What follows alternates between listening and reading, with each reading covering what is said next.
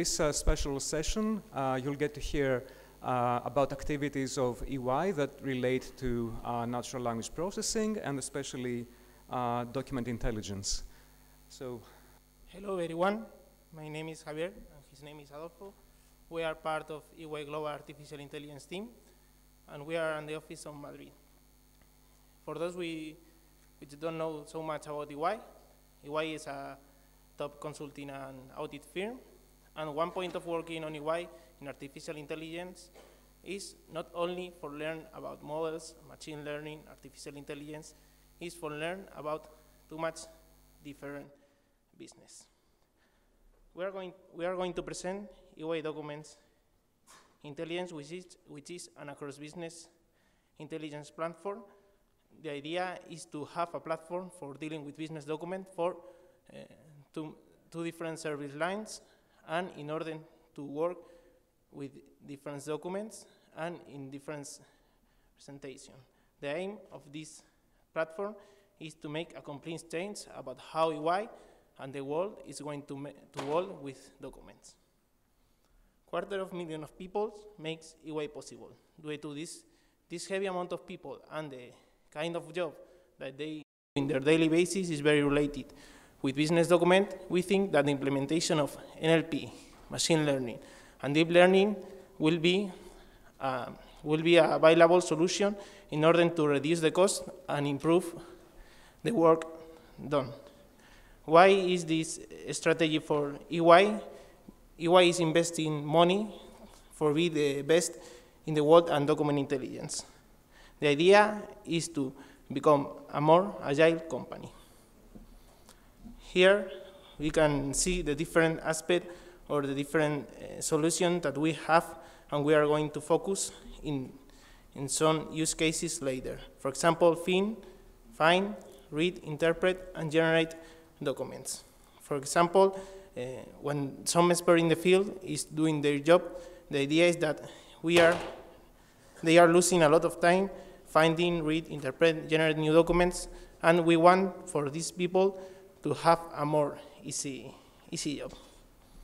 And why this breakthrough in the industry now? now? Because we think that uh, the appearance of deep learning and new technology makes an improvement in so much uh, different fields from medicine to economy that, like in this example, for example, when uh, we have a machine learning model, a deep learning model, which, who was, which was able to even improve the accuracy detecting skin cancer than some, some expert in the field. We think in EY that these new technologies could be applied for the field of business documents. Okay, so what is EY Document Intelligence? We want EY Document Intelligence to be the reference platform to work with business documents. Mm, this will allow us to be a more agile company. We can work with different types of documents, from unstructured text like uh, contracts or email to our more structured data like uh, invoices or forms. Um, the aim of this is to put the documents into the platform so we can uh, start basically extract information, um, maybe create some dashboard to apply some analytics so uh, EY teams can take better decisions. Or maybe um, another idea would be to upload a, a wide set of documents of different types and connect a chatbot and start asking questions about those documents. For example, what are the different kind of documents, which document seems to be more relevant, and so on. So why EY Document Intelligence and not another provider? Because EY has a huge amount of document that, that they can access to, but also we have a, a very high amount of historic data that we can use to train the models. Um, very um, most important is that when you are working with business document, um, this document can be very complex, such, a, such as a contract. So you need experts in the field to help you with, with these documents. And EY has a very large network of professionals across a very different industry that can help with this.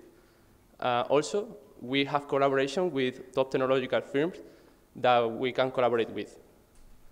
Um, finally, and not less important, we have now AI lab teams all around the world focusing on deep learning and machine learning. Um, Okay, the first use case, um, probably the most important one, is called DICER. It means Document Intelligence for Contract Review. As part of EY engagement, um, our professional has to review manually a lot of documents, and this process is very costly and in time and money. So the aim to do this is to upload the documents into the platform, and deep learning is going to play a key role for these documents because the variability of the contracts are very high. It depends so much in, in which person writes the document. So the aim to, the, the objective to do this is that the user, that can be a EY lawyer, upload the document into the platform, and then we apply some pre-trained models to show the user the most important classes and parts of the document.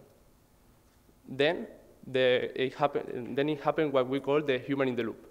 That is, uh, once the, we show them the prediction about the clauses, uh, he goes and, and confirms which is the, the most important clause. So every time that they do this, we are, give, we are obtaining more training data that will help the platform to improve. Um, by doing this, uh, we are up to say 80% of the time of our teams, uh, so they can focus on higher value activities. And now we are going to put a video about this.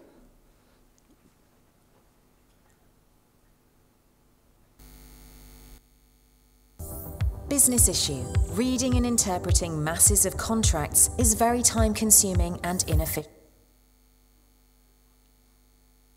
Contract review using AI and natural language processing.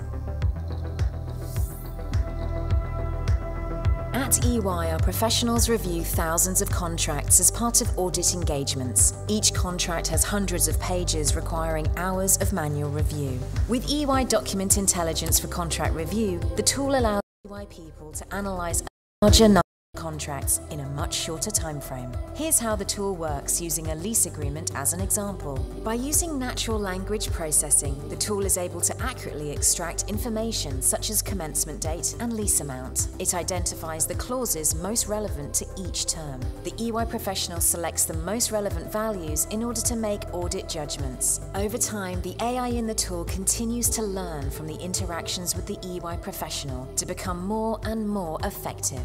The tool can recognize different data types, amounts, dates, percentages, and many more. This allows EY people to focus on higher value activities and relationships with key stakeholders. Benefits. decreases time to review documents by 60 to 80%, allowing EY audit teams to focus on higher value activities.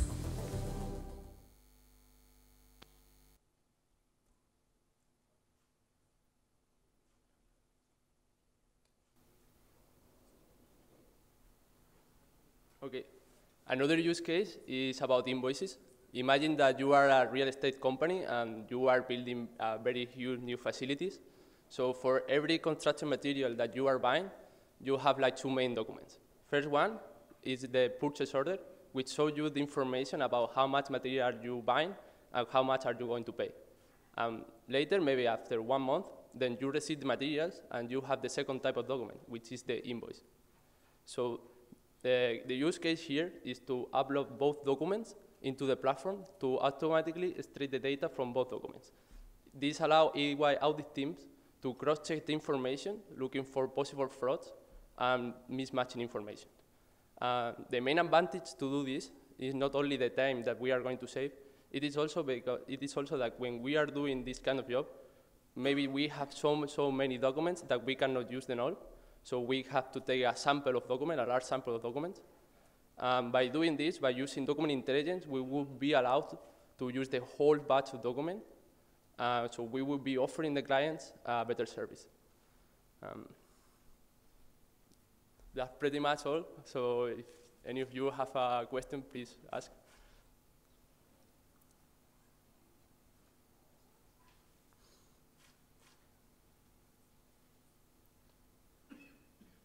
Okay, thank you very much.